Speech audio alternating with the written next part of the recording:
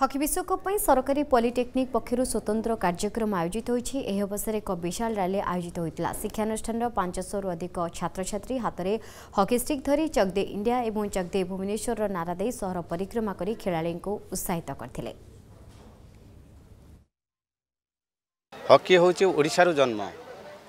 गरिचय এবং ଲୋକମାନଙ୍କ ଭିତରେ ଏନ୍ଥୁସିଆଜିମ୍ କ୍ରିଏଟ୍ କରିବା ପାଇଁ ଆମର ଏ ଅଭିଯାନ